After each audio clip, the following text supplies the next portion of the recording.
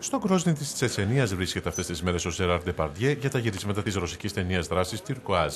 Ο Γάλλος ηθοποιός που πήρε πρόσφατα ρωσικό διαβατήριο από τα χέρια του ίδιου του Πούτιν για να γλιτώσει την υψηλή φορολογία που έχει επιβάλει η χώρα του, υποδίεται έναν άνδρο του οποίου ο γιος έχει δολοφονηθεί. Ταξιδεύει λοιπόν στη Ρωσία για να βρει τους φωνιάδες του και να πάρει εκδίκηση. Τα γυρίσματα που γίνονται στον Κρόσνη περιλαμβάνουν καταδιώξει με αυτοκίνητα, συγκρούσεις με όπλα και μπόλικο σασπέντ. Ο ευτραφή ηθοποιός φαίνεται ότι περνάει καλά κατά τη διάρκεια της παραμονής του στη χώρα.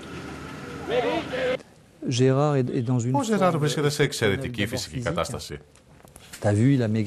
Έχει χάσει 25 κιλά, euh, κάνει γυμναστική κάθε πρωί και πίνει euh, μεταλλικό νερό όλη την ημέρα.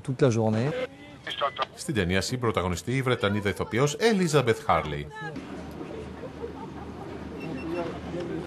Περνάμε πολύ καλά στον Κρόσνη. Όλοι χαμογελούμε. Τα κορίτσια είναι όμορφα. Το φαγητό είναι πεντανόστιμο. Ο Ντεπαντιέ επισκέφθηκε την Τσετσενία για πρώτη φορά πέρσι με αφορμή τα γενέθλια του Τσετσένου ηγέτη Ραμζάν Καντήροφ. Η σχέση του με το τσετσενικό καθεστώς είναι κάτι παραπάνω από θερμές, οπότε μη σας κάνει εντύπωση αν κάποια στιγμή μετά το ρωσικό διαβατήριο πάρει και την τσετσενική υπηκότητα.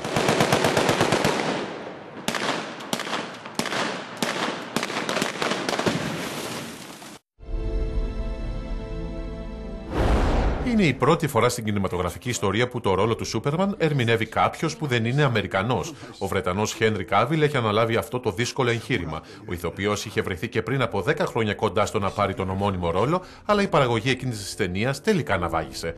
Τώρα ερμηνεύει τον διάσημο υπερήρωα στο σκηνοθετικό μεγαλεπίβολο εγχείρημα του γνωστού μας από τους 300 Ζακ Σνάιντερ, τίτλος της ταινίας Man of Steel. Πρόκειται για μια θετική ιστορία, δεν έχει καμιά σχέση με τις άλλες ταινίες. Είναι κάτι εντελώς καινούριο. Είναι μια νέα ταινία που ξεκινά από την αρχή, από τη γέννηση του Σούπερμαν και απευθύνεται στου σημερινούς θέατε. Στο Man of Steel βλέπουμε τον Χένρι Κάβιλ να φτάνει στη γη ως Καλέλ για να γλιτώσει από την καταστροφή του πλανήτη του Κρύπτον. Θα ανατραφεί από ένα ζευγάρι αγροτών στο Κάνσας, τη Μάρθα και τον Τζόναθαν Κέντ.